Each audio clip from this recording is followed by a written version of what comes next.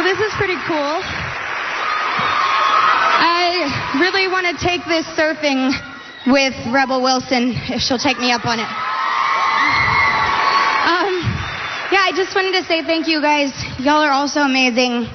You guys inspire me to keep going every single day. I love all of you. I want to say thank you to my family, my friends, and I also dedicate this award to a new little angel in heaven named Lola. We love you. Thank you so much.